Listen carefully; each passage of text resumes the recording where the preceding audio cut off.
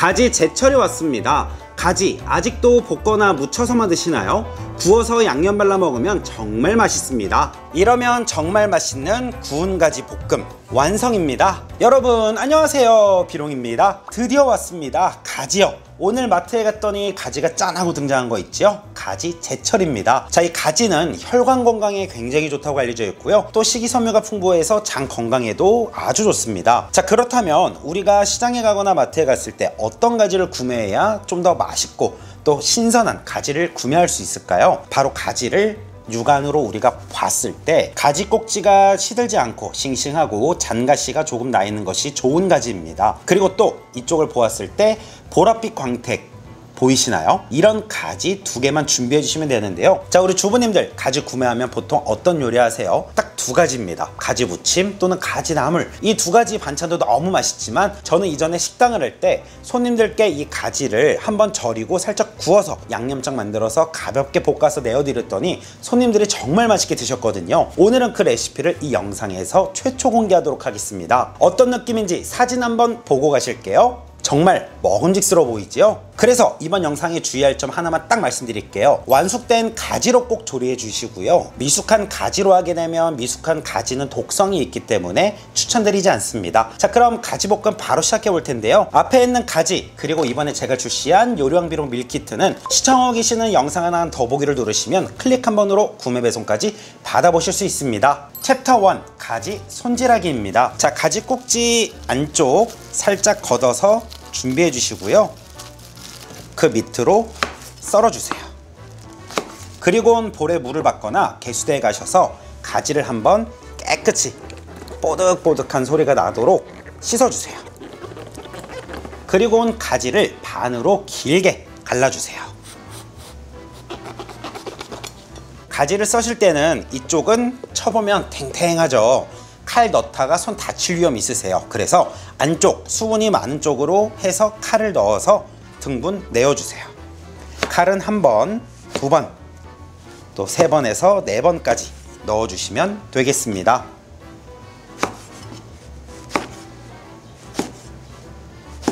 챕터 2 가지의 수분을 적당히 빼내고 식감을 살리고 풍미를 높이는데 집중해 주세요. 손질한 가지 넓은 볼에 모두 넣어 주시고요.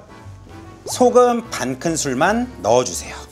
그리고 가볍게 한번 조물조물 해주시고요. 5분간 절여주고 키친타올을 이용해서 가지에서 나온 수분을 닦아줄 거예요.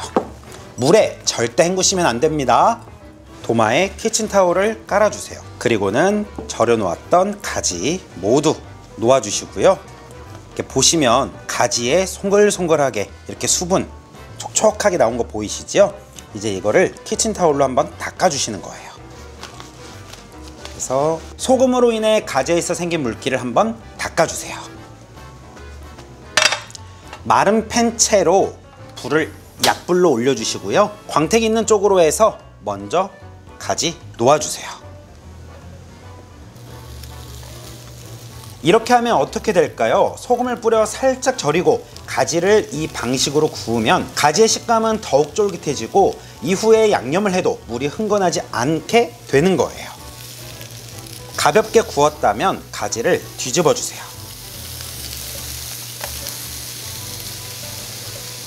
이렇게 소금에만 절여서 살짝 구워 먹어도 정말 맛있고요. 구운 가지를 접시에 옮겨 담아 주세요. 챕터 3 감자 전분물은 꼭 만들어 주세요. 감자 전분 한 큰술에 물 3큰술 넣어 주시고요. 개어서 전분물 확실히 만들어 주세요. 불을 켜기 전에 식용유 한 큰술 넣어 주시고요. 진간장 두 큰술, 다진 마늘 한 큰술, 미림 한 큰술, 설탕 반 큰술, 만든 전분물에 전분물은 한 큰술만 넣어 주세요. 그리고 불을 켜서 양념을 한번 보글보글 가볍게만 끓여줄 거예요. 오래 끓이실 필요 없이 한번 전체적으로 바글바글 끓는 정도만 끓여주시면 되고요. 이때 바로 불을 꺼주세요. 그리고 만든 구운 가지 모두 넣어서 양념이 골고루 묻어날 수 있도록 묻혀주세요. 이러면 정말 맛있는 구운 가지 볶음 완성입니다. 정말 맛있겠지요? 자 이렇게 해서 가지 볶음 아닌 가지 무침 아닌 가지 구이 볶음 만들어 봤는데요. 이렇게 해서 한번 만들어 드셔보시면 깜짝 놀라서 자주 해서 드시게 될 겁니다. 오늘 함께 먹을 음식은요 요리왕 비룡 밀키트 김치찌개와 함께 먹도록 하겠습니다. 잘 먹겠습니다. 자 가지와 함께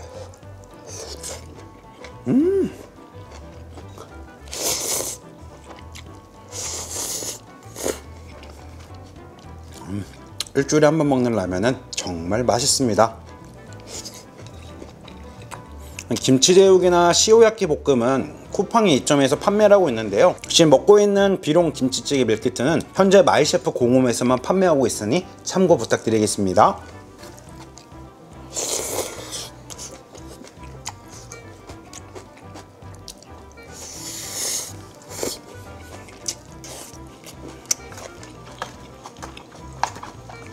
뭔가 조합이 어울리진 않을 것 같은데 가지와 김치찌개 한번 같이 먹어볼게요. 음, 아 가지 너무 맛있습니다.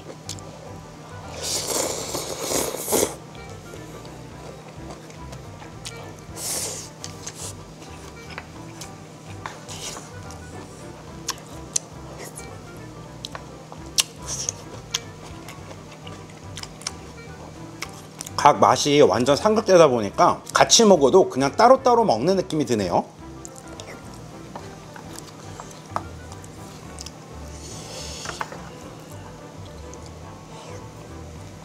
아, 국물 끝내줍니다. 이제 여름이라 캠핑도 가고 또 주말에 나들이도 많이 가실 것 같은데요. 비룡 밀키트 꼭 한번 드셔보세요. 맛있게 준비했습니다.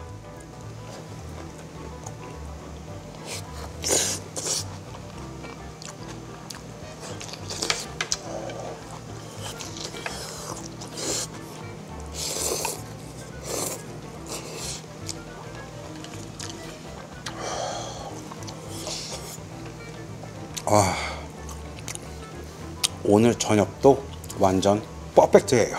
그럼 혈관 건강에도 좋고 식이섬유가 풍부해 장 건강에도 좋은 제철 가지로 맛있는 무침, 맛있는 볶음, 맛있는 구이까지 꼭 만들어 드셔보세요.